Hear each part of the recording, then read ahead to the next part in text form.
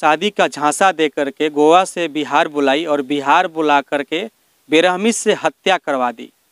आखिर क्या है पूरी घटना की सच्चाई? इसके बारे में आपको विस्तार से बताते हैं। पूरा वीडियो के अंत तक बने रहिएगा। दरअसल ये घटना बिहार के मुजफ्फरपुर के मुजफ्फरपुर सदर थाना क्षेत्र की है। प्रेमिका का नाम ललिता है और प्रेमी का नाम जयप्रकाश है। दोनों की मुलाकात 2021 में हुआ था। प्रेमिका प्रेमी के ममेरी बहन की ननद है। और जब प्रेमिका यानी कि जयप्रकाश अपनी बहन के यहाँ जब ससुराल में गया हुआ था, उसी समय जो है ललिता से मुलाकात हुआ। ललिता से जब जयप्रकाश की मुलाकात हुआ तो दोनों आपस में बातचीत करने लगे, नंबर एक्सचेंज किए, आपस में दोनों की दोस्ती हो गई। दोनों धीरे धीरे बातचीत करने लगे और दोनों की दोस्ती प्यार में बदल गया। और दोनों की तब से लेकर अब तक तीन साल की रिलेशनशिप रहा। और इस तीन साल में दोनों के बीच में इतना कुछ हुआ जिसकी चर्चा आज मैं कर रहा हूँ। ललिता बीपीएससी की तैयारी करने के लिए पटना चली आती है। वही उसी साल जयप्रकाश भी गोवा चला जाता है कमाने के लिए। और वहाँ पर जनरेटर ऑपरेटर की काम करता है और प्रति माह ललिता को पाँच हज़ार रुपया भेजा करता था ताकि ललिता जो है आगे की पढ़ाई अच्छी से कर सके और अपनी तैयारी जो है बहुत बढ़िया से कर सके और पटना में रहने के लिए उसको कोई दिक्कत ना हो सके। ललिता भी तैयारी कर रही थी और जयप्रकाश भी वहाँ रह करके काम कर रहा था। दोनों की दोस्ती और दोनों की प्यार काफ़ी अच्छा से चल रहा था। ये बात ललिता के परिवार वाले को भी पता चल गया। जब ललिता के परिवार वाले को ये बात पता चला तो ललिता के पिता, ललिता के भाई और ललिता के जीजा जयप्रकाश के घर रिश्ता लेकर के पहुँच जाते हैं। जब जयप्रकाश के घर रिश्ता लेकर के पहुँचते हैं, उस समय जयप्रकाश के पिताजी घर पर नहीं थे। तो दोन दोनों के रिश्ते के बारे में जो है ज़्यादा विस्तार से चर्चा नहीं हुआ, लेकिन लगभग शादी तय ही हो चुका था। जयप्रकाश के परिवार वाले ये बोले कि, ठीक है, जब जय जयप्रकाश के पिताजी बाहर से आएँगे तो इसके बारे में और विस्तार से बातचीत हो जाएगा और हम लोग जो है रिश्ता पक्के कर लेंगे। और बाकी जो आगे की रीति रिवाज जो भी होगा, उसको अच्छे से निभा करके दोनों की शादी कर देंगे। लेकिन एक दिन की बात है, जयप्रकाश ललिता को फ़ोन करके रात में वीडियो कॉल पर बात करना चाहा और ललिता को व्हाट्सएप पर कॉल किया और ललिता को जो व्हाट्सएप पर कॉल किया, उस समय ललिता के साथ उसके बेडरूम में कोई और लड़का पहले से मौजूद था। जब जयप्रकाश ललिता को बेडरूम में किसी और लड़का के साथ देखा तो वो काफ़ी गुस्सा गया और काफ़ी परेशान हो गया कि ये लड़का कौन है, जिसको हम जानते नहीं हैं। और नहीं ये आपके रिश्तेदार है। कभी मैंने इसके बारे में जाना नहीं। ये सारी बातें जो है, जयप्रकाश की माँ मीडिया से बताई। जब ये बात जयप्रकाश को मालूम चला कि ललिता जो है किसी और लड़के के साथ भी अफेयर में है तो दोनों के बीच में जो है दूरियाँ बढ़ते गई। दोनों के बीच में लड़ाइयाँ बढ़ते गई। दोनों की झगड़ा जो है धीरे धीरे और बढ़ता गया। वही जयप्रकाश का कहना था कि हम तुमसे इतना प्यार करते हैं, तुम, तुम्हारे लिए मैं इतना कुछ किया, आखिर क्या गलती रह गया हम, हमारे बीच में कि तुम मुझे जो है इस तरीके से धोखा दे रही हो। लेकिन दोनों की लड़ाई जो है और बढ़ती गई। ललिता जो है एक दिन फ़ोन करके जयप्रकाश की माँ को बोलती है कि आप अपने बेटे को समझा दीजिए, आपका बेटा बिगड़ गया है, आपके बेटा से हम अब शादी नहीं करेंगे।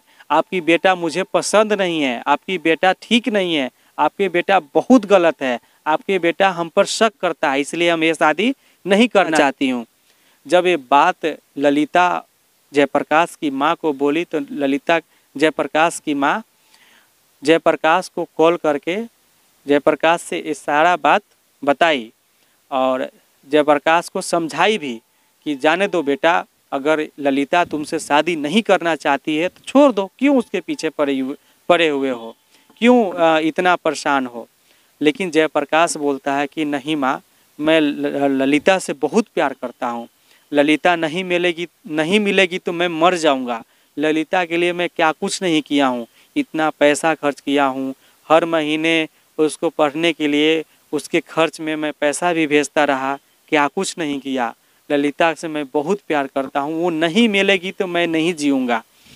ये बात बोला और इतना बोल करके फ़ोन काट दिया।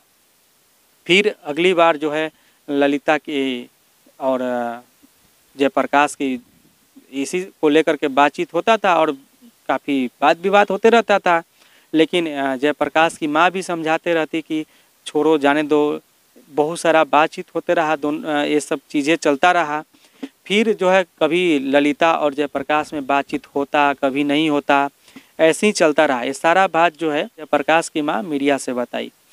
फिर आगे ये हुआ कि जयप्रकाश जो है, ललिता और जयप्रकाश के बीच में कुछ सीक्रेट फ़ोटो था प्राइवेट फ़ोटो था। उस फ़ोटो को जो है, ललिता के जीजा और ललिता के भाई के पास भेज देता है। ये सोच करके कि देखिए, हम दोनों के बीच में कितना जो है गहरा रिश्ता है और हम दोनों की रिश्ता यहाँ तक आ चुकी है। इसलिए हम जो है ललिता से ही शादी करेंगे। अन्यथा किसी और से शादी नहीं करेंगे। लेकिन और मामला बिगड़ जाता है। और जयप्रकाश से ललिता की भाई और जीजा और नफरत करने लगते हैं। पहले जो प्यार भी था वो और नफरत में बदल गया। और जयप्रकाश के भाई ये बोलता है कि जयप्रकाश जो है हमारे साथ बहुत गलत किया है। हमारी बहन के साथ जो है इस तरीके से आ, फ़ोटो वीडियो बनाया है इसको सोशल मीडिया पर शेयर कर देगा तो हमारा इज़्ज़त नीलाम हो जाएगा। जो भी था ये उसके दिमाग में निगेटिव आने लगा और जयप्रकाश से काफ़ी नफरत करने लगा और ललिता भी नफरत कर रही थी। वही ललिता और के भाई और ललिता के जो भी और सगे संबंधी थे लोगों ने मिल करके जो है ये प्लान बनाया बनाया कि जयप्रकाश को किसी तरीके से बुलाना है। ललिता जयप्रकाश को एक दिन कॉल करती है और ये बोलती है कि हमारे घर परिवार वाले मान गए हैं। मैं आपसे शादी करना चाहती हूँ। हमारे घर परिवार वाले मान गए हैं। ये बात बोल कर, बोल करके ललिता जयप्रकाश को गोवा से बिहार बुलाती है। और जयप्रकाश भी बहुत खुश हो जाता है कि चलिए जाने दीजिए। जो गलती हुआ से हुआ, अब आगे जो है अपना ज़िंदगी बहुत अच्छे से गुजारना है। हम दोनों शादी कर लेंगे। और जयप्रकाश भी पूरा ललिता को पाने के लिए जी जान से चाहता था। जयप्रकाश भी गोवा से बिहार चलाया। बिहार मुजफ्फरपुर गया। मुजफ्फरपुर में अपने बड़े भैया के यहाँ गया। बड़े भैया के यहाँ रुका। उसके बाद शाम हुआ। शाम के समय जयप्रकाश अपने भाभी से बोला कि, भाभी, मैं मार्केट जा रहा हूँ। मार्केट से सब्ज़ी लेते आता हूँ और वहीं मेरे कुछ दोस्त हैं। दोस्त से भी मिल करके चला आऊँगा। रात के आठ, साढ़े आठ बज रहे होंगे। उस समय जयप्रकाश के भाभी कॉल करती है, लेकिन कॉल लगता नहीं है। उसके कुछ घंटे बाद जयप्रकाश को भाभी कॉल करती हैं। लगभग उस समय दस, साढ़े दस बज रहे होंगे। उसमें भी कॉल नहीं लगता है। उसमें स्विच बताने लगता है। और ये सारा प्लानिंग जो है, पहले ही से जयप्रकाश भी कर चुका था कि जैसे ही हम आएँगे, आपसे, आपके परिवार वाले से मिल लेंगे, क्योंकि जय ललिता के परिवार वाले भी मुजफ्फरपुर के सदर थाना के आसपास में ही रहते थे। वहीं पर मिलने का प्लानिंग ये लोग को बातचीत शायद हुआ होगा। जयप्रकाश मार्केट के बहाने जा कर के ललिता से मिलने गया। सुबह में एक सूटकेस में लाश मिलता है और वो लाश किसी और का नहीं, बल्कि जयप्रकाश के लाश था। उस रात जयप्रकाश को ललिता मिलने के लिए अपने ममेरे भाई के रूम पर बुलाती है। जयप्रकाश जयप्रकाश ललिता से मिलने के लिए उसके ममेरे भाई के रूम पर जाता है। जैसे उसके रूम पर जाता है, वहीं पर जयप्रकाश को चाकू से गला रेत करके हत्या कर दिया जाता है और उसके बॉडी को बेरहमी से काट करके, बोरा में डाल करके, सूटकेस में डाल करके सड़क के चाट में फेंक दिया जाता है। डेड बॉडी को सूटकेस में साइकिल पर लाद करके ले जाया जा रहा था। ये घटना सीसीटीवी कैमरा में कैद हो गया। और ये सीसीटीवी फुटेज भी मैं आपको दिखा रहा हूँ। देखिए कि किस तरीके से जो है ये सूटकेस में बंद करके जयप्रकाश के डेड बॉडी को ले जा करके वो फेंक रहा है और कितना बेरहमी से जो है जयप्रकाश को हत्या किया गया। ज़रा सोचिए कि प्यार करना कितना गुनाह है। किसी के लिए जी जान से प्यार करना कितना गुनाह है।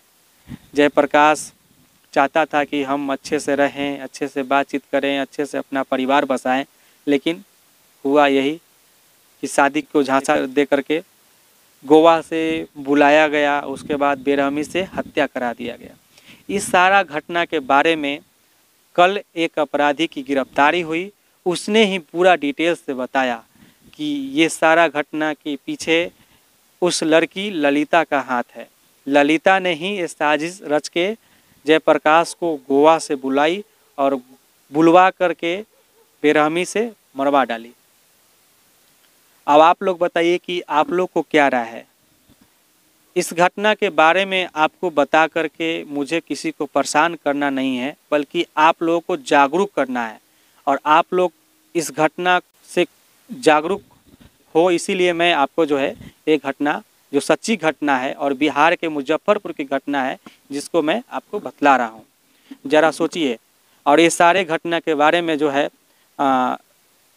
जयप्रकाश के माँ, जयप्रकाश की भाभी, जयप्रकाश के बड़े भाई भी बताएँ कि जयप्रकाश बहुत जी जान से चाहता था, लेकिन बदले में उसको मिला क्या? मौत। सज़ा यही है, प्यार करने की सज़ा। मौत मिला बेरहमी से मार डाला गया। प्यार जो है, एक सूटकेस में बंद होकर के गायब हो गया पिटारा में। बाकी इसके बारे में आप भी अपना राय दीजिएगा। आप देख रहे थे C K T India news Chitranjan Kushwaha के साथ। नमस्कार। जय हिंद।